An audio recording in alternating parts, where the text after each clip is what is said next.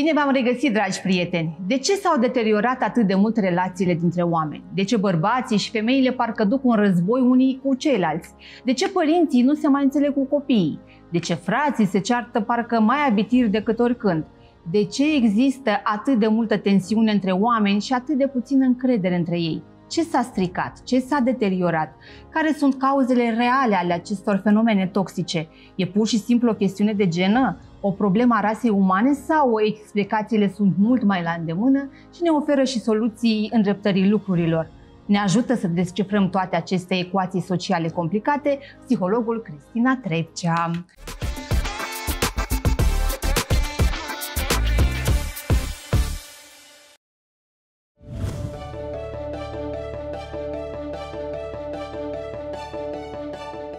Dacă tu ești în război, război vei proiecta în afară.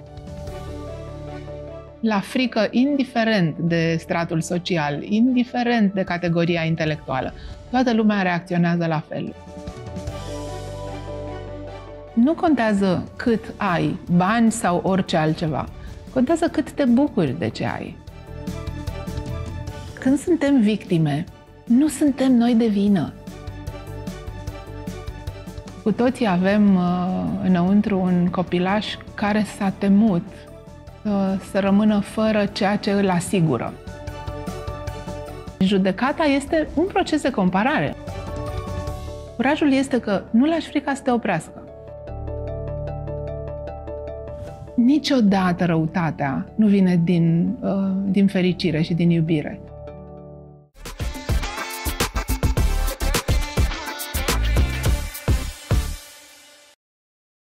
Bună seara, bine ai venit! Bine v-am găsit, mulțumesc pentru invitație. Um, am făcut această descriere în intro. Așa văd eu uh, toată situația asta în societatea noastră astăzi. Uh, e adevărat? Adică prin ochii uh, tăi, cum vezi lucrurile? Ascultându-te, uh, a fost ca și cum aș fi tras cu urechea la foarte multe dintre conversațiile pe care oamenii le au la o cafea, uh, la mm, bidonul de apă uh, în timpul unei pauze scurte la locul de muncă. Sunt conversații pe care oamenii le folosesc ca să mai elibereze un pic de tensiune dar, uh, bineînțeles, dincolo de faptul că este un intro foarte, foarte generos care ne provoacă la o discuție pentru care nu cred că o să avem suficient de mult timp, dacă ar fi să luăm să toate întrebările astea, uh, să căutăm răspunsuri. Însă, uh, majoritatea conversațiilor care se poartă pe tonul ăsta sunt ca oamenii să se plângă. De ce se plâng oamenii? Chiar, asta mi se pare că și eu, adică spun în nume propriu, că și mie e bine să mă plâng. Păi hai să ne gândim. Uh, în primul rând, uh, ne plângem pentru că toată lumea se plânge. Ok. Și pentru că majoritatea conversațiilor din spațiul public audiovizual da. Uh, sunt despre plângere. Dacă dai drumul la televizor, în sufragerie, la locul de muncă, într-o sală de așteptare, în gară sau oriunde, ceea ce vine peste tine este cu siguranță o conversație în care se pot face doar două lucruri plângere și bârfă. Uh-huh. Bineînțeles că asta, făcându-se atât de mult uh, și atât de des, te gândești de ce oare se face. Pentru că produce audiență. Okay. Da? O știre bună, știm foarte bine, este o știre care nu produce audiență. O știre în care avem uh, un motiv să ne temem după ce am ascultat sau am văzut știrea respectivă, Uh, rămâne cu noi mm, pentru că ne generează o emoție extrem de inconfortabilă și dacă dăm totul la o parte, până la urmă, frică este la ce se reduce. Da? Frica este și ceva pe care noi l-am dobândit în cea mai fragedă copilărie. Frica este emoția din spatele tuturor lucrurilor, tuturor emoțiilor uh, neplăcute. Dacă dai totul la o parte, tot la frică ajungi și uh, ar merita cumva să cojim uh, puțin lucrurile de care ne este frică pentru a vedea care este emoția cea mai veche și cea mai dureroasă a copilului care se găsește în interiorul nostru, al nostru, al tuturor. Um, dar, dincolo de faptul că face audiență, um, bârfa și plângerea îi învață pe oameni să comunice între ei. Noi învățăm... Să fie aspectul pozitiv. Pozitiv? Uh, e foarte greu să găsești ceva pozitiv în chestia asta. Păi nu știu, dar tu ești măcar îi face să comunice. Îi face să comunice după o partitură pe care cu toții au învățat-o, mai mult sau mai puțin uh, în mod asemănător. Cu siguranță, uh, dacă este să ne gândim la straturile sociale sau la straturile economice din societate, uh, inclusiv la cele, hai să spunem, intelectuale, o să vedem că poate e nevoie să fii aplicat atunci, dacă, atunci când vrei să faci să râdă uh, un om care lucrează pe câmp. Um, și altfel va trebui să te mobilizezi să faci să râdă un uh, profesor universitar, de exemplu. Cu același respect pentru amândoi cei pe care i-am pomenit. Da? Okay. Însă, pentru a face pe cineva să râdă, e nevoie să-l cunoști, să vezi care sunt uh, uh, sensibilitățile lui. Însă, când e vorba de frică, la frică, indiferent de stratul social, indiferent de categoria intelectuală, toată lumea reacționează la fel. În interiorul fiecăruia dintre noi este un copil care s-a speriat în momentul în care a pierdut ceva care era important pentru siguranța lui. Și Mm, când e vorba de război, când e vorba de pierdere, sigur că fiecare are altceva de pierdut, dar când e vorba de pierdere, cu toții reacționăm la fel. Cu toții ne este, tuturor ne este la fel de frică de boală, la fel de frică de moarte. Um, e foarte ușor să-i faci pe toți oamenii să tremure cu aceeași amenințare. Um, da, și acest sentiment, frica, pare a fi cel mai puternic. Este, este. E mai puternic, mai puternic decât, nu știu, sentimentul de iubire. Păi, uh, iubirea, vedeți, am o glumă care nu e neapărat foarte plăcută, dar dacă vreți să vorbim despre iubire, e unul dintre subiectele mele preferate. Vă rog, da? Um, oricine este capabil să se îndrăgostească. Iubirea însă este pentru suflete avansate. Pentru iubire trebuie să te poți iubi mai întâi pe tine. E nevoie să te cunoști, să fii bun cu tine, să înțelegi ce-ți place, ce-ți face bine, ce-ți face rău e cumva nevoie să mm, îți scrii um, propriile instrucțiuni de folosire. Tu să-ți folosești ființa în viață, tu să-ți folosești viața în timpul în care o trăiești. Fiecare suntem, adică oamenii suntem cu toții diferiți unul de celălalt. Fiecare dintre noi are alte instrucțiuni de folosire. Ce îl face pe un om să se bucure nu-l face neapărat pe celălalt să se bucure. E suficient să treci granița și o să vezi că ai nevoie să explici omului eluia de ce râzi. Sunt foarte multe lucruri care ne diferențiază, dar când e vorba de frică, spuneam, uh, suntem foarte asemănători. Cu toții avem uh, înăuntru un copilaș care s-a temut uh, să rămână fără ceea ce îl asigură. Asta înainte să știe că ceea ce simte el este frică. Ăsta este și motivul pentru care acum, dacă ne gândim, nu ne putem aduce aminte uh, decât, sigur, cu efort uh, terapeutic. Uh, doar cu efort terapeutic putem să recuperăm mm, amintirile din copilărie și ne putem aduce aminte de momentul în care s-a creat acea frică și ce am simțit noi pe atunci când nu știam cum se numește nimic. De asta e greu să ne recuperăm amintirile. O să mergem încet, încet, încă un pas, încă un pas, să mai intrăm încă într-un cerc al aducerii aminte, al lucrurilor care ni s-au întâmplat de-a lungul vieții. Dar uh, acolo, redus la aproape de minutul zero, când am intrat în această viață minunată, cu toții ne-am temut că o să rămânem fără siguranța pe care ne-o dădeau părinții. Și uh, frica asta despre care ai întrebat și care spuneam că este de, de fapt la rădăcina tuturor uh, lucrurilor, tuturor fricilor noastre, este frica că ne vom pierde siguranța. Frica că mama, tata sau persoana de îngrijire va renunța la noi dacă noi nu vom fi la înălțimea așteptărilor. Da? Știm cu toții și chiar vă invit pe toți să căutați în, uh, în trecut, în amintire, când ni s-a spus, dacă nu, puncte, puncte, dacă nu o să faci ceva, dacă nu o să mănânci, dacă o să faci noaptea în pat, dacă îți spargi capul, dacă nu vii cu nota 10 și, mă rog, lucruri chiar de mai devreme, uh, o să te dau la casa de copii, o să te dau la puncte, puncte, nu o să spunem cine, Da. pentru că nu este corect Da, din da, punct de vedere politic și nu e corect din punct de vedere moral. Da. Dar am fost Exista, amenințați exista cu... această vorbă frecvent în Da, familii. dar noi, din respect pentru cei care ne văd și ne ascultă, nu o să pronunțăm, dar sunt convinsă că toți cei care ne văd și care ne Înțeleg, ascultă da. știu despre, Despre ce ce vorbim. vorbim. Da. Sau te dau afară din casă, sau alte amenințări care presupuneau că dacă nu suntem așa cum se așteaptă de la noi, ă, se va renunța la noi. Vor renunța la noi, părinții noștri care erau garanții siguranței noastre. Și atunci noi am început să punem semnul egal între uh, adăpost, siguranță și a fi pe plac. Am început să punem semnul egal între performanță și să merităm iubire. Sunt foarte multe lucruri care ascunse da. au început să facă pui în interiorul nostru. Ce și fel de adulți au devenit acești copii? Păi ne uităm unii la alții și vedem că toți suntem așa. Toți suntem așa. Când spun asta, nu-i demonizez pe părinți. Părinții care noi suntem astăzi sau vom deveni mâine, vor deveni aceiași părinți ca cei pe care i-am avut noi, pentru că deja pilotul nostru automat este programat cu singurele lucruri pe care le știm, da? Dacă ar fi locuri goale, oamenii ar pune întrebări. Dar locurile nu sunt goale, sunt deja ocupate de informații pe care noi le avem de la părinții noștri.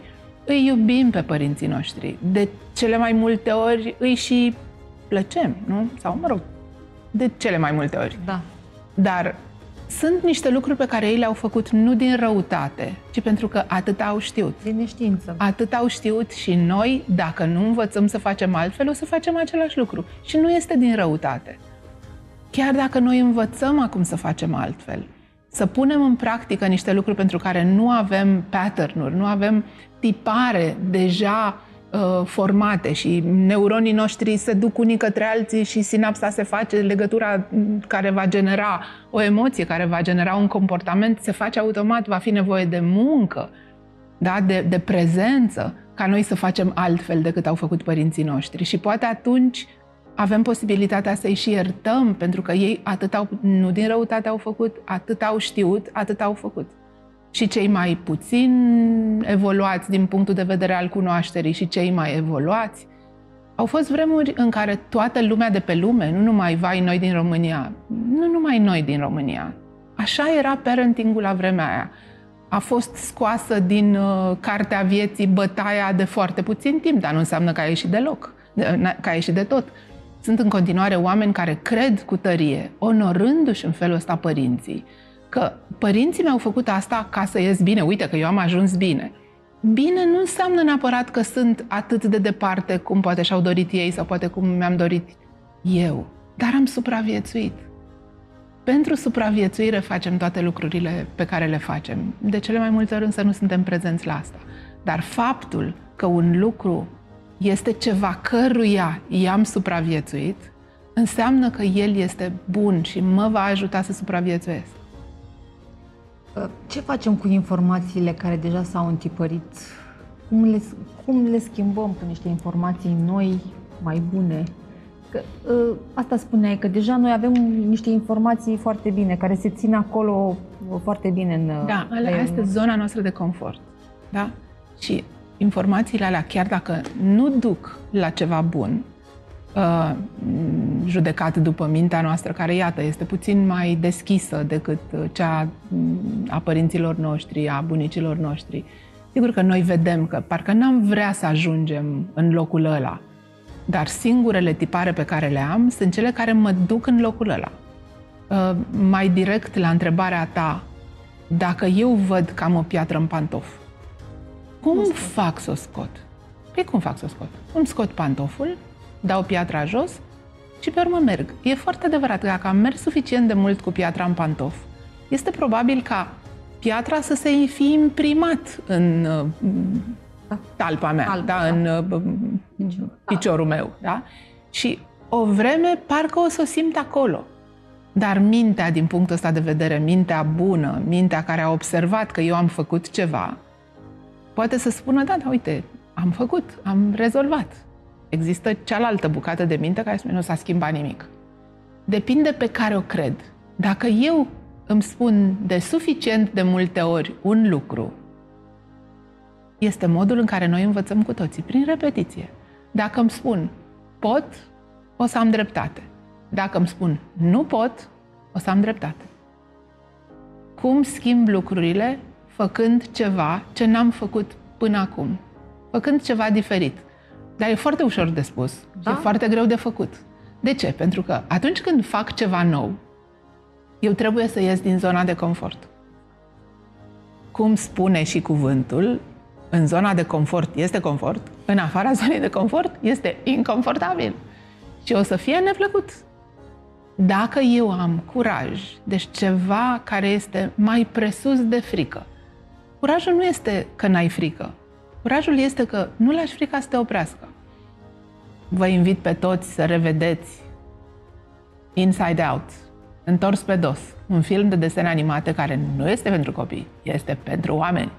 Urmează cât de curând, uh, nu știu dacă a apărut, dar cred că aș fi știut dacă ar fi apărut, episodul 2, da? în care personajul principal nu mai este o copilă, este o adolescentă. Este un film în care cele mai importante roluri sunt jucate de emoții. Ne uităm la acest film și vedem realmente ce se întâmplă în interiorul nostru. E foarte interesant să vedem cum trăim de fapt emoțiile și inclusiv sunt niște indicații ca de poveste, dar care sunt foarte, foarte uh, sănătoase și ușor de urmat, despre cum să ieși din poveste. Vorbeam mai devreme despre iubire și îmi spuneai că una este să te îndrăgostești, alta e să iubești. Să iubești, da. Cam la ce vârstă o persoană e capabilă să iubească? Ai spus că trebuie cumva să învețe și să-și pună toată ființa acolo, să știe cum să... Da, ar fi grozav dacă uh, vârsta unui om ar arăta cu adevărat nivelul lui de dezvoltare. Eu sper din tot sufletul că nu e adevărat. Uh, în cazul adică poate în... să iubească o persoană foarte tânără? Um, eu cred că noi venim pe lume um, Chiar dacă atunci când venim pe lume nu avem nimic, nimic, nimic, nimic, ce avem? Nu avem nimic. Ce avem este timp, da? Așa acela e limitat. Slavă Domnului că e limitat. Da? Știi povestea cu peștișorul de aur? Ialtă-mă că fac paranteză în paranteză, da, da, dar rău. sunt uh, încântată de joaca asta noastră. Uh, povestea cu peștișorul de aur uh, uh, este, până la urmă, povestea oricăruia dintre noi care află la un moment dat că are ceva, are putere. Și peștișorul de aur îi spune, dăm drumul, că îți voi îndeplini trei dorințe. La fel despre trei dorințe e vorba și când Aladin găsește lampa Lampa fermecată cu Duhul și probabil că vor mai fi și alte povești uh, ale lumii în care uh, un om descoperă că poate să-și dorească orice, dar este limitat la trei. De ce oare e limitat la trei? Pentru că noi, oamenii, nu suntem limitați la trei. Dacă am fi limitați la trei, povestea din cartea groasă pe care o avem cu toții acasă, în care e vorba de personajul ăla extraordinar pe numele lui Isus. Isus n-a spus, vă împlinesc trei dorințe. Isus n-a spus că iubirea este uh, limitată. Um, E nevoie în poveste de trei dorințe, pentru că dacă noi am avea dorințe nelimitate într-un moment în care noi nu suntem cu adevărat dezvoltați din punct de vedere mental, emoțional, deci sufletesc, uh, psihologic, poate că noi ne-am dori să mi se strice mașina lui Gigel sau să-i moară capra vecinului. Da? Am vrea ca, dacă mie nu mi-a ieșit uh, nu știu ce fel de ecuație, să nu iasă nici colegei mele de bancă, care pare să fie mai cumoți decât mine. Ne-am prăpădit dorințele pe lucruri care nu au cu adevărat valoare pentru noi și care sunt mai degrabă despre ce nu vrem decât despre ce vrem. Ceea ce noi de fapt facem, prăpădindu-ne energia pe lucruri care nu ne vor aduce absolut nimic. De fiecare dată când noi spunem, fără să ne dăm seama că noi de fapt trimitem în univers o dorință, în univers sau fiecare cum crede, cu cine da. relaționează. Că unii oameni au nicio treabă să relaționeze cu Dumnezeu, alții relaționează cu universul, fiecare, fiecare cum îi da. se potrivește, după părerea mea, e același lucru. Dacă noi am fi cu adevărat responsabili de lucrurile pe care le scoatem pe gură, de lucrurile pe care le lăsăm să iasă din noi sub formă de energie, a, atunci am ști, în primul rând, că noi facem vraja respectivă. Da? Întâi spui cuvântul și pe urmă se întâmplă. Da? Întâi faci vraja, hocus pocus, să iasă apă din pământ și pe urmă nu iese apă din pământ, vai, a ieșit apă din pământ. Nu, nu, nu, nu, așa se întâmplă. Noi facem vraja, noi spunem să se întâmple, dar întâi spunem. Noi spunem, vai, ce zi proastă am. După care, wow, am avut o zi proastă. Ok, am avut o zi proastă până acum, dar acum o să am o zi din ce în ce mai bună. Asta cu din ce în ce este onorarea inteligenței noastre care vrea să fie totul adevărat. Eu care n-am nicio problemă să cred că generez realitatea, când m-a durut capul până acum câteva minute, acum sunt foarte bine. Da? Sigur că s-ar putea să fie un pitic din mintea mea ca să spun, dar încă nu ești bine, încă nu ești bine. Ba, sunt bine. Sunt bine, sunt bine, sunt bine și vrăjesc lumea mea, nu știu ce se întâmplă cu restul lumii, pentru că suntem micuți îngerași cu toții, cu puteri extraordinare pe care le putem folosi în măsura în care credem în ele. Da? M-a durut capul, acum mi-e bine. Mi-e din ce în ce mai bine. Wow, chiar mi-e bine. De ce oamenii au visuri din acestea, nu știu cum să le zic, nu vreau să jignesc, puierile, uh, nu știu, o mașină nu știu de care, unii poate trag nu știu câți ani să-și ia o mașină într-un anumit fel. Cred că fiecare... Ține și de nivelul de... Da. E normal, e normal. Suntem cu toții... Educație, de dezvoltare. Suntem de... cu toții diferiți, da. Și până la urmă noi suntem limitați și de lecția pe care o avem de învățat în viața asta. Pentru că sunt oameni care au foarte, foarte mulți bani, dar nu trăiesc neapărat fericiți bucurându-se de experiența asta. Am văzut la un moment dat un film foarte cunoscut, Breakfast at Tiffany. Da. Și în Breakfast at Tiffany, Audrey Hepburn se duce la un spectacol și vede o femeie care dansează, probabil că erau zorii uh, show-urilor sexy, și se întreabă dacă femeia plătește, primește suficienți bani ca să facă așa ceva. Uh, și pe urmă se gândește și zice, dacă eu aș avea banii ei, aș fi mai bogată decât ea. Da? Pentru că nu contează cât ai, bani sau orice altceva. Contează cât te bucuri de ce ai. Da? Și mm, eu am văzut oameni care au foarte mulți bani și care sunt, de fapt, oameni foarte săraci, pentru că mm, trăiesc fără lucrurile care le trebuie sau niciodată nu au suficient de mult. Și am văzut oameni care nu au foarte mult, unii care au de-a dreptul foarte puțin, dar care se bucură cu adevărat de ceea ce au și fac mm, rai din ce ai, cum se zice. Da, da, da. Sigur că în momentul ăsta pot să fiu judecată de o grămadă de oameni care se chinuie foarte, foarte tare și nu, nu minimalizez importanța absolut deloc. Nici importanța banilor. și nici suferința, suferința reală pe care ei o au. Eu cred însă că fiecare dintre noi are visuri pe care le poate îndeplini cu condiția să creadă că le poate îndeplini.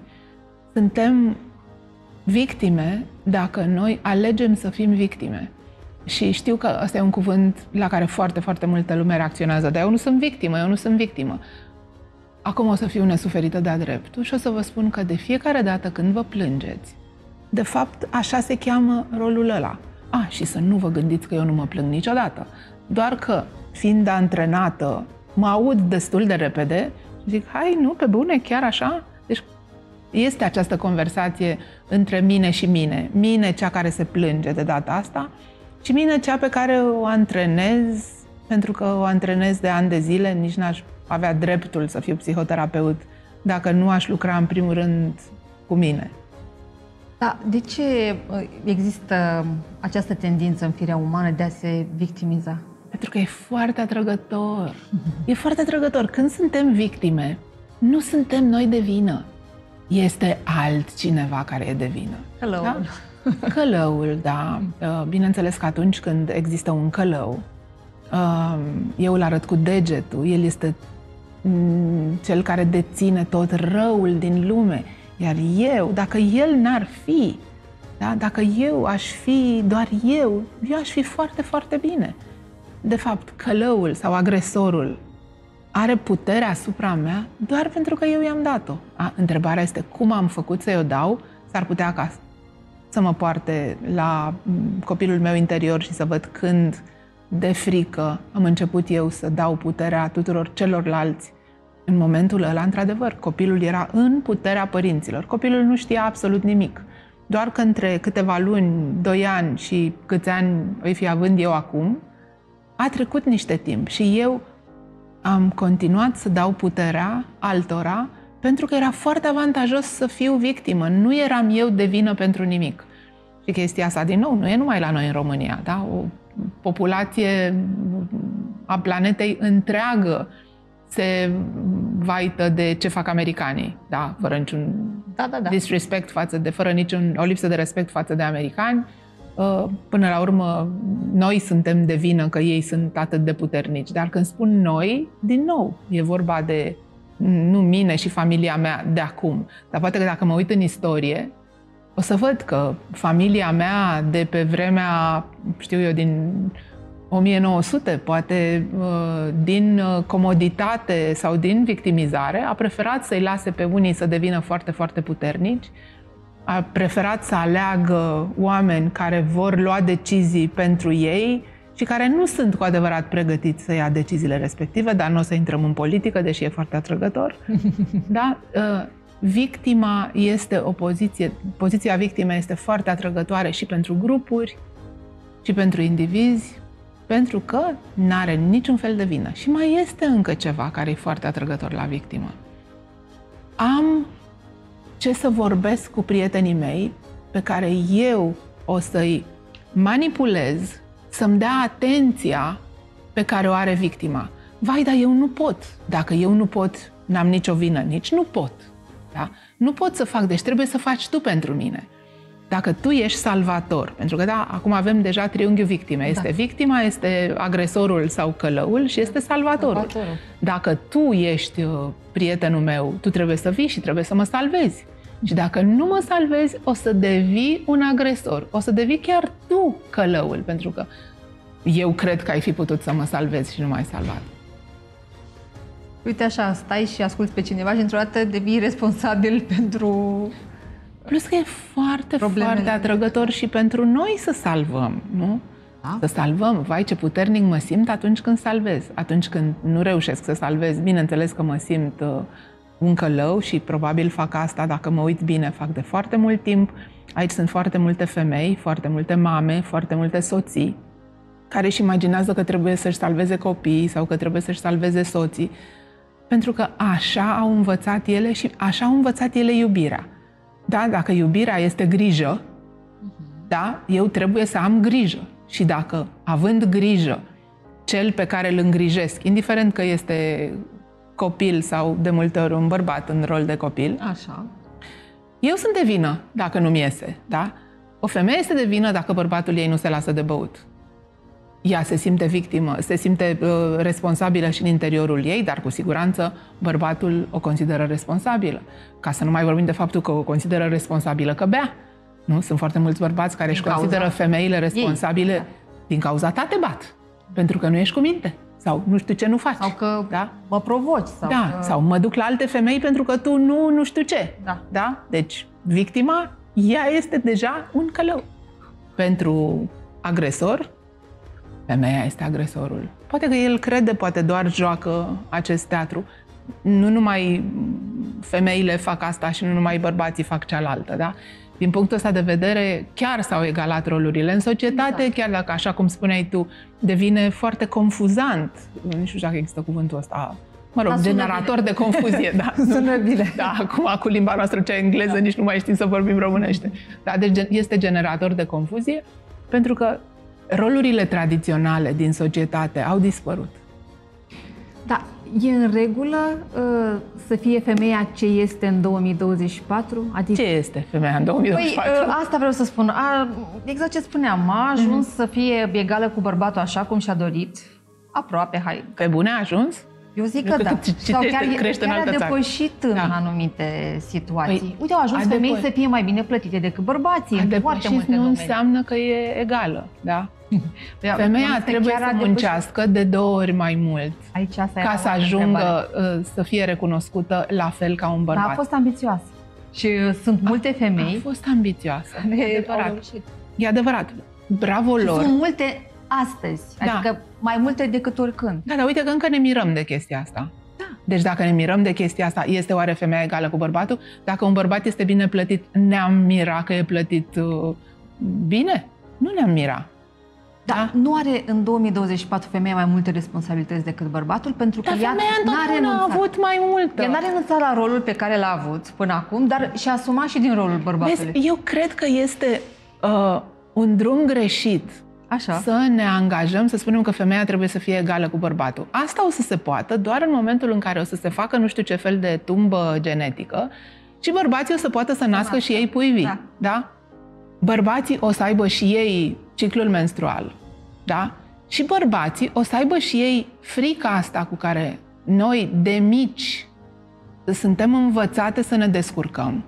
Că dacă mergem pe stradă și pur și simplu unuia o să-i se pară că noi avem un posterior uh, apetisant, să-i se pară lui corect uh, să pună mâna sau să dea o scurtulică, cum se numea când eram da. eu la liceu, da? Eu nu cred că un bărbat merge pe stradă vreodată având această frică. Eu nu cred că un bărbat când vine seara de la, seara de la sală este speriat de faptul că e posibil ca cineva, o femeie, da? da să uh, îi facă un comentariu, pui cuțule sau ce ți-aș face de te-aș prinde sau, Doamne iartă-mă, da. altceva puțin mai licențios. Da? Deci experiența femeii... L-ar amuza sau s-ar simți bine? Dacă... Uh, s-ar amuza pentru că este atât de surprinzător și de neamenințător. Nemic. Da? Iar dacă știu asta din experiența cu oamenii cu care lucrez, pentru că uh, i-am întrebat de foarte multe ori pe bărbați, Mm, cum ar fi dacă te-ai gândit că ți se poate întâmpla așa ceva? Și ei au spus, da, mă gândesc că mi s-ar putea întâmpla, dar tot din partea unui bărbat. Deci ceea ce noi trebuie să înțelegem că este că femeile au, și nu de când erau ele mici, ci din energia femininului, da, din mamă, bunică, străbunică și tot așa, au o frică de bărbați această frică roade înăuntru și în momentul în care tu ajungi într-o poziție în care să fii suficient de puternică, s-ar putea ca această alchimizare a fricii să, se fi, deci să, să fi făcut ca frica să se transforme în opusul fricii. Opusul fricii cel mai... Deci, opusul fricii nu este curajul. Opusul fricii de obicei vine cu ceea ce ai văzut la cei care ți-au făcut rău atunci când ți era frică de ei. Deci vine cu agresivitate, vine cu... Uh, fel de răzbunare. Un soi de uh, platoșă, da? Nu-ți mai e frică pentru că ai această platoșă. Și platoșa asta poate să fie că te-ai urcat uh, pe o poziție în care nu-ți mai e frică sau că ai ajuns la o vârstă la care a crescut suficient de multă energie în tine. Vorbeam chiar cu fica mea, care foarte recent i s-a întâmplat chestia de care povesteam Așa. Uh, puțin mai devreme. Da? Și eu am stat și m-am gândit că uh, de ceva vreme nu mi se mai întâmplă. Și mie mi s-a întâmplat ani de zile. Să trec pe stradă și să mă gândesc după ce au trecut bărbații aia care au trecut pe lângă mine, că ce norocoasă sunt că n-au pus mâna pe mine. Da? Dar, de foarte multe ori, n-au mai pus mâna că poate era lumină, dar uh, uh, spuneau niște cuvinte cu care eu rămâneam pe urmă foarte, foarte mult timp. Zile. Mi-au rămas și acum în minte unele dintre ele. Da? Un bărbat nu are cum să fie egal cu mine, pentru că și, și nu o spun cu lipsă de respect față de el, o spun cu ce noroc pe el, da. că el nu a trăit experiența asta și nici nu o să o trăiască. Da? Nu avem cum să fim egali, pentru că lui nu e frică de celălalt sex. Da. Da? E foarte greu să pui semnul legal. Ceea ce e nevoie și ceea ce cred eu că se cere foarte tare este o conversație foarte serioasă care trebuie să înceapă de când copiii sunt cruzi și ca bureții care absorb informație, în care să se înțeleagă că suntem diferiți, dar amândoi și fetele, adică și fata și băiatul, au o valoare extraordinară, că nu contează că ești fată sau ești băiat. Aici a curs foarte urât conversația și a fost manipulată de uh, tot felul de grupuri de interese. Iarăși sper din tot sufletul că nu o să vrei să mergem în direcția asta, pentru că e foarte sensibilă direcția da, asta cu vezi. genurile. Da? da? Însă, eu cred că trebuie să existe o revoluție profundă și care să înceapă de la cei care pot să învețe acum să gândească. Noi ar trebui să ne vindecăm, dar e foarte grea vindecarea. Da? Că nu suntem egali. Vom fi întotdeauna diferiți. Da? Mâna mea dreaptă cu mâna mea stângă sunt foarte asemănătoare. Da? Dar sunt foarte diferite. Fiecare dintre ele are, are altă treabă. Da? Altă treabă. Mâna mea dreaptă corespunde părții mele drepte, care este uh, dominată de masculinitate. Da? Partea dreaptă a corpului este legată de energia masculină, de tot ce este masculin mă leagă de partea masculină a vieții, a familiei mele. În timp ce partea stângă mă leagă de feminitate, de uh, lucrurile care presupun energie feminină. Dreapta este cu ordinea și cu structura. Uh, partea stângă este cu frumusețea, cu creativitatea, chiar dacă când e vorba de producerea creației, va interveni uh, partea dreaptă. Deci noi suntem împreună și doar împreună putem să facem echilibru. Da? Nu este dreapta mai importantă decât stânga. Poate că uh, dreapta scrie, dar stânga ține copilul. Stânga îmbrățișează în timp ce dreapta este liberă să facă alte lucruri. Deci sunt, nu se poate unul fără altul. Noi trebuie să întoarcem înspre iubire aceste disensiuni care tot de frică sunt generate. De frică că nu te mai recunosc. Tu ești femeie, da? Eu am fost învățat de mama mea ce este aceea o femeie, am fost învățat în cuvinte, dar mai ales prin expunere la model. Da? Și tu nu semeni cu femeile astea pe care eu le aștept. Așa că eu voi face tot ce depinde de mine ca să te domin, da? Că nu o să mă faci tu pe mine. Și uite, așa curge o, o luptă, o luptă. Da, între da, oameni care de fapt visează să se iubească. Că bărbații și femeile încă duc un război. Uh, adică din totdeauna au dus un război. Hmm. Nu știu dacă e adevărat, pentru că timp de foarte mulți ani nu era război. Era o capitulare. Femeile din care noi ne tragem și energia cărora de foarte multe ori este mm, activată în noi de ceea ce ni se întâmplă. Noi am fost învățate uh, să tăcem. Da, dar tot am mucnit ceva în suflet. Păi da, dar asta nu e neapărat război. Dacă mocnește în tine, uh, ghici pe cine îmbolnăvește. Da? Pe tine. Da. E, în momentul în care mm, noi am avut voie să mergem la școală, am avut voie să vorbim. Mergem la vot. Să mergem la vot, da, da. Deci uh, asta mm, acum ni se pare caragios și uh, trebuie să ne gândim că a fost nevoie de foarte mulți ani în care femeile au făcut ce poate judecăm astăzi că fac uh, oamenii care au uh, al treilea sex sau al patrulea sex sau al cincilea sex. Da? Pentru că acum sunt oameni și au voie să se exprime chiar dinainte să știe ce sunt. Dar e foarte simplu. Eu sunt femeie și mă identific cu a fi femeie. Celălalt e bărbat, se identifică cu a fi bărbat. Dar sunt o grămadă de oameni care n-au decis ei asta și care sunt altceva. Deci, din nou, promit, nu intru în conversația asta. Dar, ca ei, poate peste 50 de ani, să fie priviți, cum suntem noi, femeile, astăzi, astfel privite, astăzi suntem privite măcar avem voie să spunem că suntem egale fără să ne aștepte poliția la ușă. Da? Și ei probabil că trebuie să mm, urle acum pe stradă, să facă uh, marșuri, să uh, facă lucruri absolut ieșite din ordinar, din comun, da. ca să atragă atenția și poate peste 50 de ani vor fi și ei acolo unde suntem noi astăzi. Abar n-am, pentru că specia evoluează, evoluează și dacă vrem noi și dacă nu vrem noi. Da? Uh, cred că suntem uh, într-un război care nu are cum să fie câștigat. Deci nu există să lupți pentru pace. Nu există să lupți pentru pace uh, acum nu suntem la televiziunea publică, putem să spunem, Da. uh, putem să spunem niște lucruri. uh, uh, Pot să spun ceva în engleză? Da. Fără, da? Um, fighting for peace. It's like for virginity. Cuvântul ăla Da. cu F chiar Am nu pot să-l înțeles. spun, da?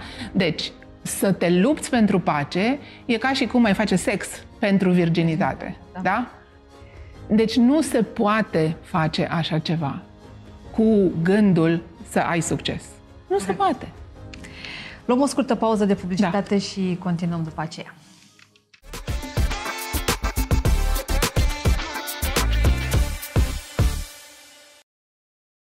Niciodată răutatea nu vine din, uh, din fericire și din iubire. Dacă tu ești în război, război vei proiecta în afară. Judecata este un proces de comparare. Eu cred că doar oamenii care au cu adevărat probleme de sănătate mentală și emoțională nu se îndrăgostesc.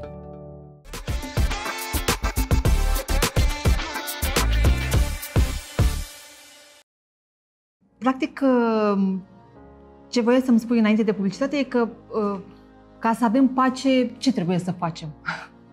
Adică ca să, Ca să avem pace, trebuie să aducem pace Pa- în jurul, exact. în, în, în interiorul Nu nostru. poți să aduci pace cu război. Nu, nu, poți există să, așa ceva. nu, nu, nu. Și nu poți să-i ceri celuilalt să te facă pe tine să te simți într-un fel în care tu, ne, tu nu te poți face pe tine să te simți în interiorul tău.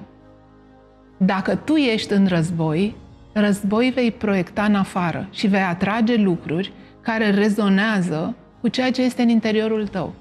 Aici este însă vorba de responsabilitate. Nu pot să accept asta și deci practic nu pot să rezolv nimic până nu înțeleg că ceea ce mie mi se pare că este în afară este doar o oglindire în exterior a ceea ce se găsește în interiorul meu. Este mecanismul foarte cunoscut și foarte mm, adus în conversație al proiecției. Dar cineva poate să-mi spună, da, dar uh, uh, eu văd bârfă peste tot și eu nu bârfesc. E foarte puțin probabil să fie adevărat.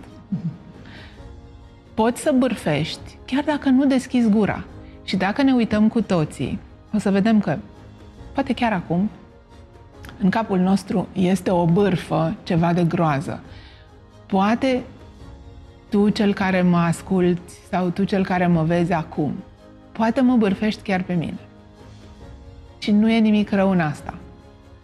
Dacă mă bârfești pe mine, nu e foarte grav, dar e foarte probabil să te bârfești pe tine. De fiecare dată când tu te duci într-un loc, spui, a, nu sunt suficient de bine îmbrăcat, uh, ar fi trebuit să fac altceva, ar fi trebuit să spun altceva, ar fi trebuit să mă mișc într-un alt fel.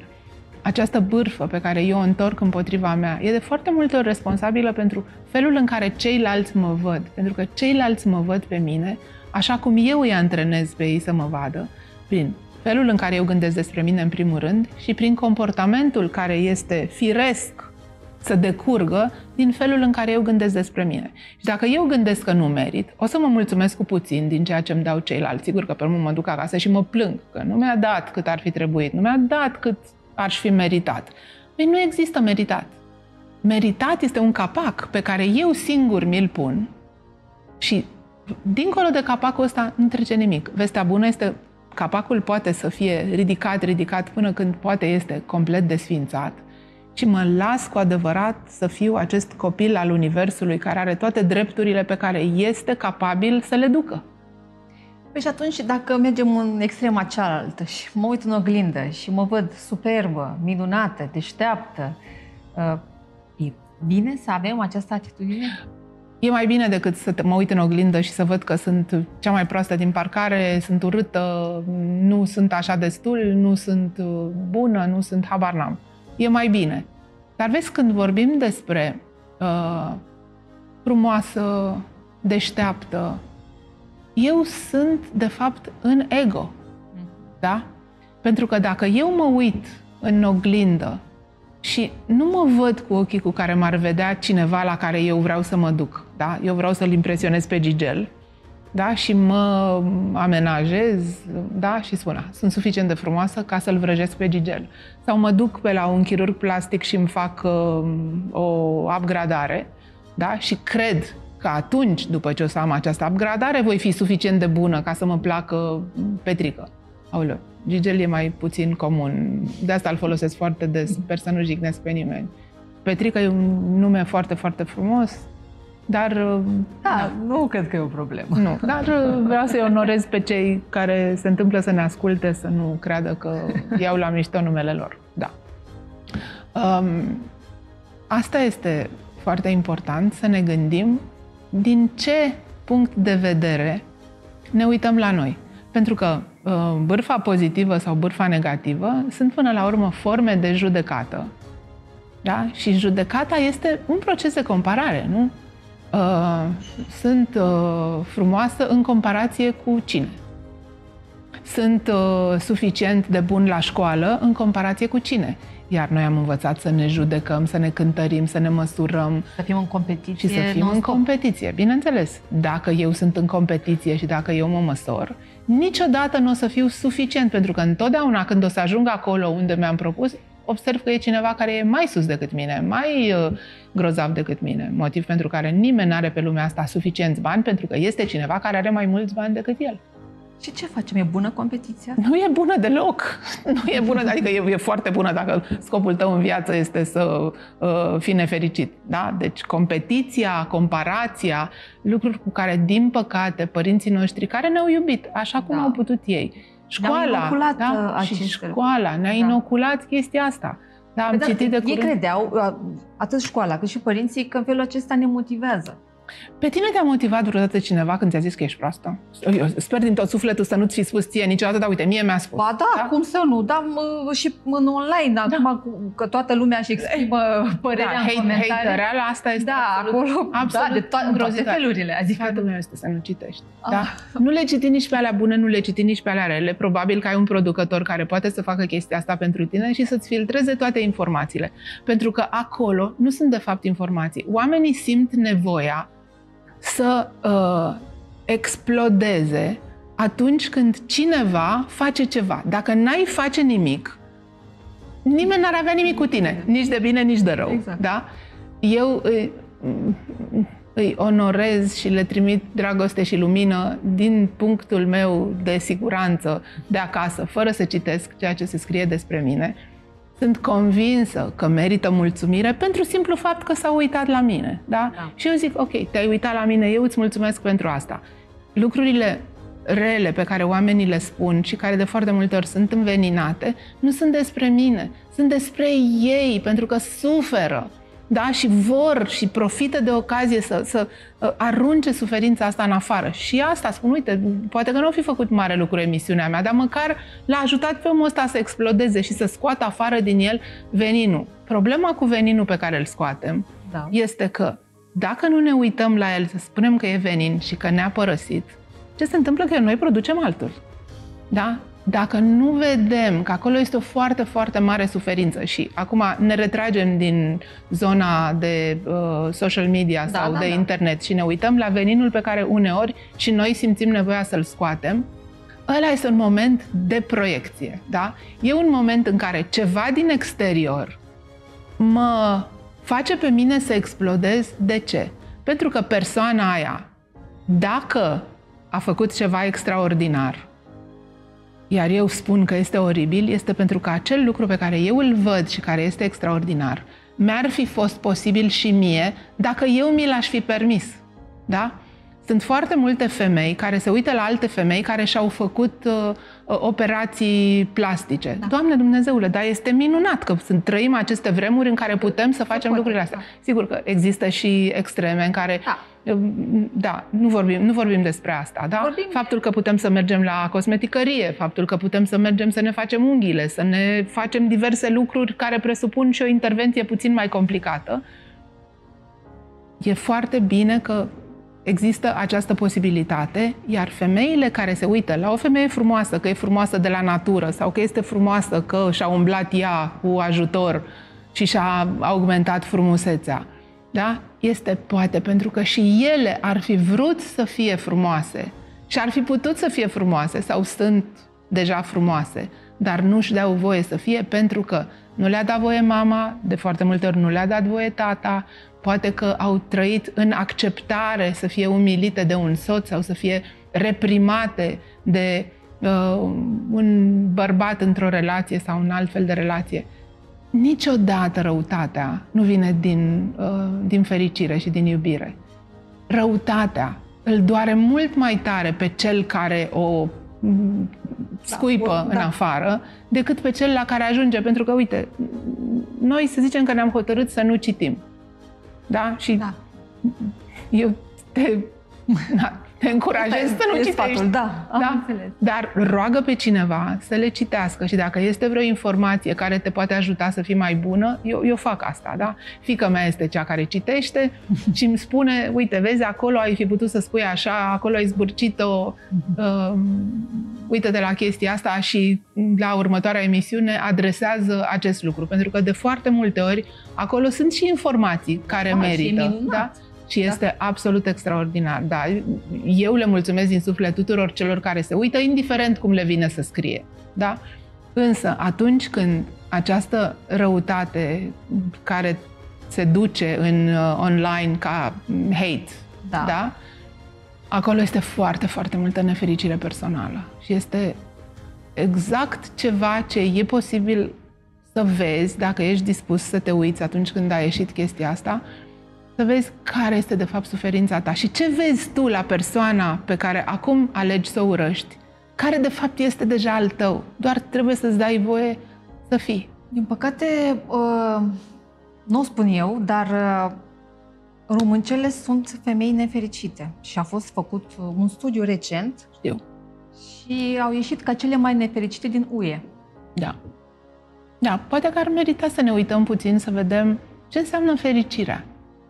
Pentru că nefericire, da, este ne ceva ce habar n-am ce este. Da? Ceva cu ne, ceva care e negativ. Până da. la urmă, nu e... Ce înseamnă fericirea este din nou ceva care e diferit la fiecare dintre noi. Ce s-a observat este că oamenii care sunt fericiți și știu că sunt fericiți, că e și probabil să ai tot ce trebuie, dar să nu te bucuri și atunci ai ce trebuie să fii fericit, dar nu ești fericit. Deci oamenii care sunt fericiți sunt oameni care știu că sunt fericiți. Da. Sunt oameni care cred în ceva, care este deasupra lor. Indiferent că îi spun Dumnezeu, îi spun Allah, îi spun Buddha, îi spun indiferent cum, natură, da? Sunt oameni care cred în natură, în puterea naturii. Sunt uh, uh, religii care au revenit, nu că au revenit la viață, că n-au fost niciodată fără viață, dar care au intrat în spațiul nostru occidental din uh, uh, America de Sud și din uh, Orientul îndepărtat și care sunt extrem de generoase și se unesc uh, foarte firesc cu uh, religiile creștine. Oamenii care cred în ceva și se încred în această putere care este natura sau universul sau cosmosul sau divinitatea, divinitatea în orice fel, da. uh, sunt uh, mai fericiți decât cei care declară că noi suntem singuri, ne naștem singuri, o să murim singuri, după ce murim totul e gata. Onorez și acest mod de a vedea viața și sunt convinsă că pot să obțină satisfacție și cei care aleg să îmbrățișeze acest mod de a te raporta la viață. Doar că este o încăpățânare împotriva a ceea ce eu numesc adevăr, care da, e foarte greu să concepi iubirea, pentru că nu poți cântări, da, dacă eu nu cred decât în ce văd. Ok, dăm și mie un litru de iubire. Da? Sau taie-mi da. 2 centimetri. Mut-o dintr-o parte într-alta. Sau, una și mai tare, uh, vreau să mă îndrăgostesc. Cum fac? Da? Îndrăgostirea e un miracol. Da? E realmente un miracol, nu poți să lucrezi la ea, nu poți să ți-o dore, adică poți să ți-o dorești. Dar nu poți ca atunci când îmi doresc uh, o viață bună, mă apuc de învățat. Exact. Uh, îmi doresc să uh, fiu sănătos, mă apuc de mâncat corect, mă apuc de făcut sport, mă apuc de citit, mă apuc de terapie, da, care sunt niște parametri extrem de importanți ai stării de bine. Sunt lucruri pe care eu le pot face. E foarte adevărat că îndrăgostirea nu are cum să se uh, întâmple unui om care nu se uită în afară. Deci cumva trebuie să ai o deschidere. Poți să pregătești un om care e foarte, foarte închis în el, care gândește foarte, foarte tare de rău. E foarte puțin probabil însă ca acest om să vrea să te îndrăgostească. Dar să zicem că el vrea să te îndrăgostească, uită-te în afară, descoperă lumea și la un moment dat este foarte posibil să ți se întâmple ceva de genul ăsta. Dar îndrăgostirea e un miracol, miracol la care nu poți să lucrezi.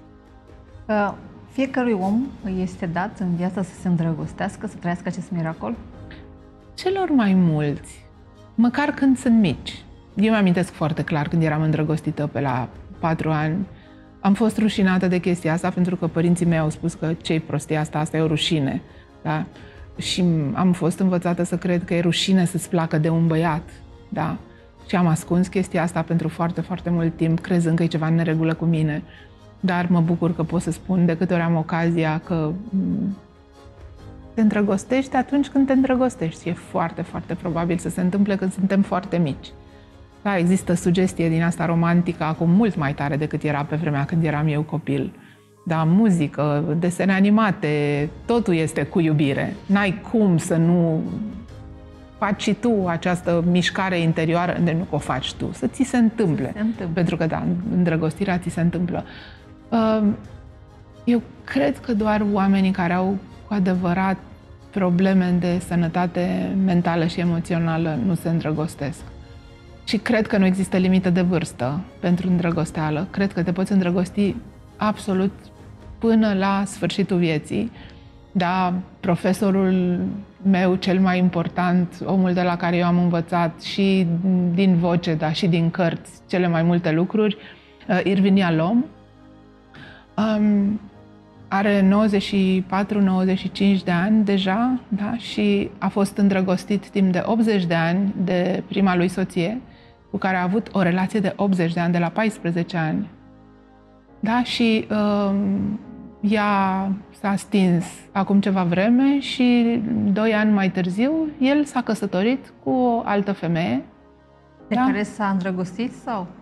De care s-a îndrăgostit, da. da. Pentru că eu îl cunosc, sigur, cât pot să-l cunosc, dar citindu-i cărțile și auzindu-i conferințele și urmându-i cursurile, eu cred că, mai ales că e un om care s-a deschis foarte, foarte mult, eu sunt convinsă că s-a îndrăgostit. Bine că un om de 94 mm, de ani, de 95 de ani, se îndrăgostește altfel decât un om de uh, 14 ani, altfel decât un om de 44 de ani, probabil chiar altfel decât un om de 64 de ani. Da. da? Mm, dar eu m-am îndrăgostit de foarte multe ori, în mod diferit de fiecare dată.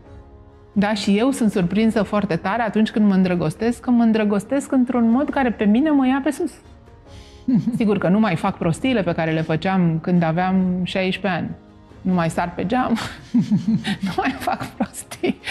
Dar, da, este această capacitate extraordinară care vine în, uh, în dans, deci în linie cu deschiderea pe care noi o avem și cu disponibilitatea de a fi surprinși și cu curiozitatea față de viață și față de oameni fără asta nu poți să te îndrăgostești nici la 16, mm, nici la 96.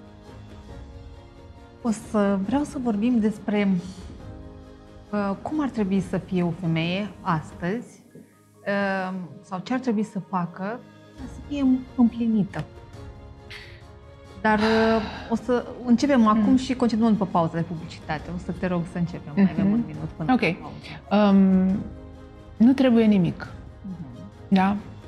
Singurele lucruri care trebuie sunt lucruri în legătură cu care nu avem nicio putere, trebuie să treacă timpul și timpul trece.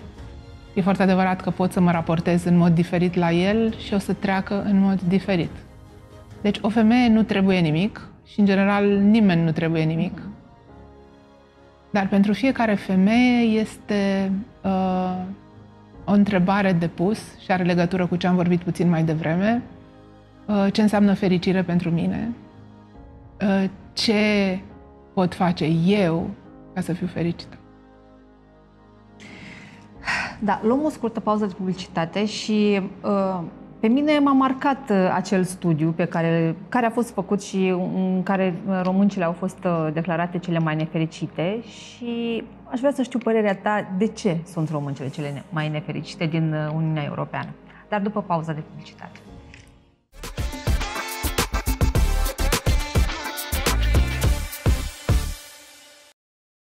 Frumusețea nu este o condiție de fericire să-i spui încă de foarte mic copilului ce trebuie să știe în legătură cu atingerile. Când tu crezi că mai ai timp să-i vorbești copilului tău despre sex, sexualitate și tot ce are legătură cu feminitatea și masculinitatea, observ că deja copilul știe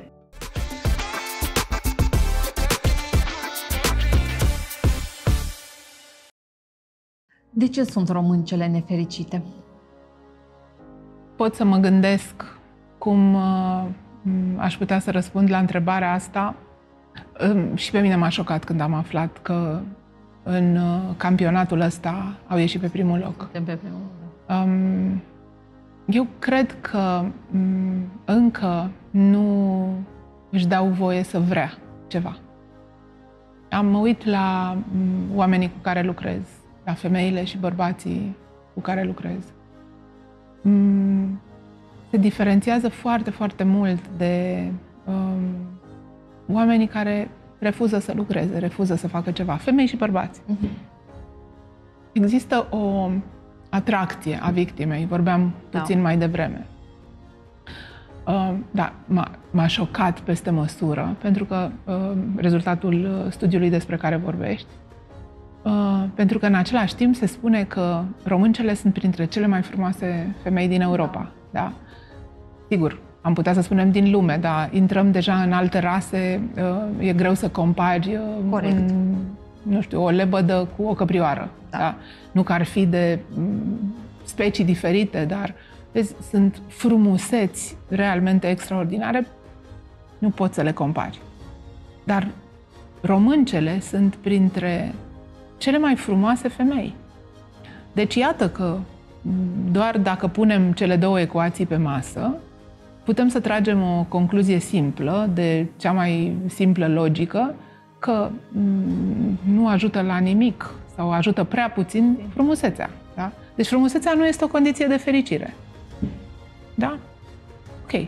Ce ne lipsește nouă și altora nu le lipsește? Bineînțeles că eu nu scot pe gură adevărul, mm, simt nevoia să subliniez, sunt doar părerile mele. Indiferent dacă sunt mai informate decât ale altora, sunt totuși doar părerile mele. Eu cred că uh, un alt campionat pe care l-am câștigat, dacă s-ar face acest campionat, ar fi campionatul încrederii în sine. Și cred că uh, la lipsa de încredere în sine uh, am ieșit pe primul loc. Și cred că aici... Uh, de aici n-am, nefericirea? N-am fi uh, mult mai uh, diferite femei de bărbați. Eu cred că aici este o problemă pe care noi o avem uh, la nivel A de nație? societate, ca de, nu de societate, de națiune, da, de popor. Um, lipsa noastră de încredere în sine. Ne subestimăm. Încredere este din aceeași familie de cuvinte cu credința. Da? Și vorbeam puțin mai devreme, înainte de pauză, că uh, credința, credința în ceva, în niște valori, în niște principii, um, este un vehicul extraordinar pentru, pentru dezvoltare, pentru deschidere, până la urmă, pentru atingerea scopurilor care ne fac pe noi să simțim că suntem fericiți. Um, atunci când nu avem încredere în noi, nu avem încredere pentru că cei care ne-au crescut nu au avut încredere în noi și atunci noi înțelegem că nu se poate avea încredere în noi. Dacă noi nu avem încredere în noi, nu putem să avem încredere nici în alții. Relațiile pe care le creăm în lipsă de încredere sunt relații în care am vrea să fim surprinși, dar noi știm de fapt cum stau lucrurile, da? Eu știu că tu ești așa, deci n-are cum să iasă bine, dar tare aș vrea să fiu surprinsă să n-am dreptate, da? De fapt, iată că am dreptate și cred că ți-am descris foarte multe dintre relațiile în care oamenii se trezesc la o oarecare bucată de timp după ce a început romanța. este o lipsă de informații în continuare, care e absolut incredibilă pentru deși, vremurile în care trăim. Deși la un da. click distanță avem... E la un click distanță, dar, dar nu știu oare tu ai vrea să afli de la internet răspunsul la întrebările cele mai importante, cum ar fi legate de venirea ciclului menstrual? Sunt o grămadă de femei foarte um, nu știu cum să spun, importante din punctul de vedere al poziției sociale. Da, sunt femei care au învățat carte, care uh, au slujbe bune, femei care se simt realizate din punctul ăsta de da. vedere, da.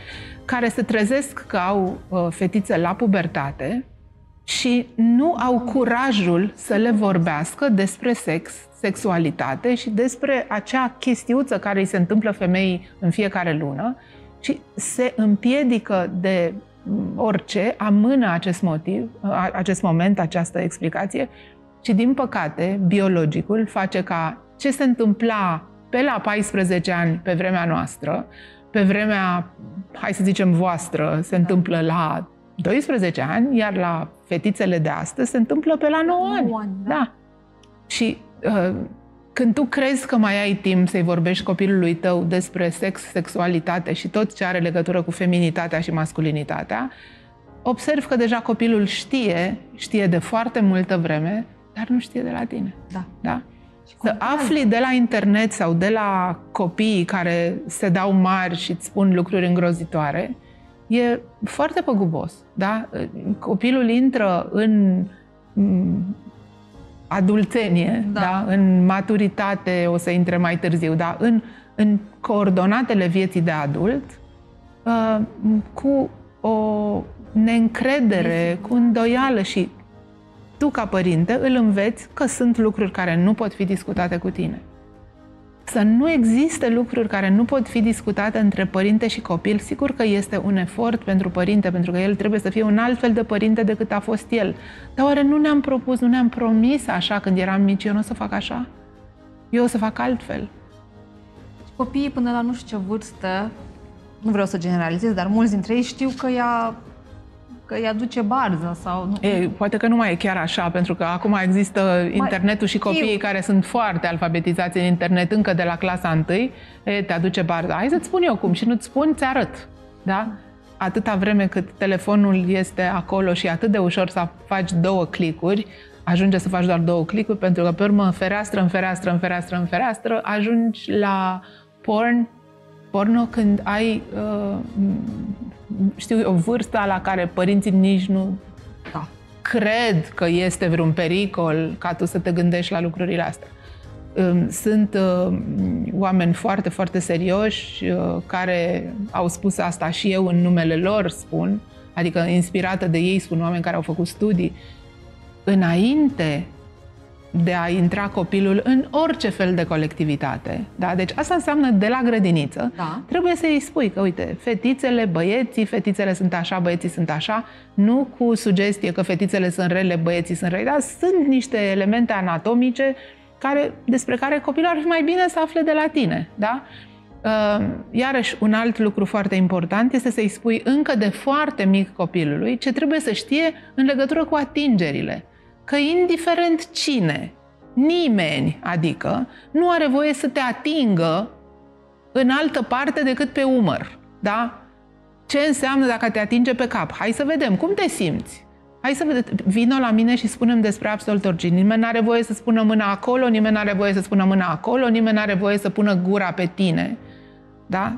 Astea sunt niște lucruri pe care părintele trebuie să le spună copilului în scopul eliberării copilului de pericole care poate o să vină, poate nu să vină, dar dacă copilul o să știe pericolele, e foarte probabil să nu vină. Să nu vină. Da. Pe mine, fetița mea, pe la trei jum- ani jumate m-a întrebat de ce seamănă cu tati dacă a fost la mine în burtic. Uh-huh. Deci, la trei ani și jumătate. Da. De ce? Că toată lumea îi spunea, uite, semeni cu tati, ești, știi cum se întâmplă, toate rudele. Uite, ești da, copia lui tati și de ce semăn cu tati? Că eu am fost la tine în burtică, de ce nu semăn cu tine? Da, deci e momentul, și e momentul unei uh, deci, conversații deja, absolut extraordinare. Da, deci spui, moment... tu ai fost la mine în burtă, dar s-a întâmplat ceva da. din iubire da. între mine și tatăl tău Da? Ceva care a făcut ca în burtica mea să apară ceva care să semene și cu unul și cu altul. Eu i-am spus că tati a pus o sămânță în burtică la mine și a fost o perioadă în care îmi punea o sămânță de portocală în buric să mai fac un bebeluș. Ce drăguț! Asta da. a fost ușor, ușor. Da. Cam uh, așa s-a întâmplat la noi. Da, deci imaginația copiilor este locul de care, din care noi, părinții, trebuie să plecăm uh, cumva un loc pe care copilul îl indică și dacă noi nu suntem mm, speriați sau stresați, vai să nu facem vreo prostie, sigur, mi-e teamă să nu fac o prostie, mă duc da. să vorbesc cu cineva și îmi spune ce exact prostie să nu fac. o întrebare de genul Dar e minunată! Dar e minunat! E minunată! Eu Ceea ce trebuie am să spunem... și filmat momentul ăsta, da. da. deci este minunat cum da. cine... Da. Deci curiozitățile lor în direcția asta, probabil că și noi am avut când eram de vârsta lor, da, dar poate că noi n-am avut curajul să, să spunem. spunem. Așa este. Da? Acum, știu eu, modelele astea noi de ființe umane da. sunt mult mai deschiși, plus că Așa după e. anul 85 deja specia a evoluat Bine, realmente, da.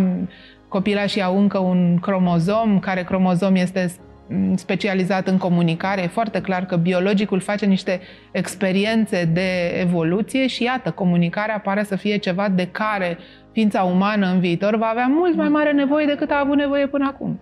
Mulțumesc mult de tot, Cristina. A fost uh, o reală plăcere și te mai așteptăm. N-am foarte, apucat să foarte mai drag, foarte... Era absolut normal. Tot, ceea, tot ceea ce îmi doresc este să fi dus câteva idei până la capăt și cei care ah, ne-au urmărit da. să, să fi primit uh, măcar în parte răspuns la niște întrebări pe, pe care, care ei le au, dar îi încurajăm, bănuiesc că și tu faci asta, da. să ne scrie personal sau cumva să putem să îi ținem aproape și să le răspundem la întrebări. Mulțumesc mult de tot, vă mulțumesc și vouă, dragi telespectatori, ne revedem data viitoare.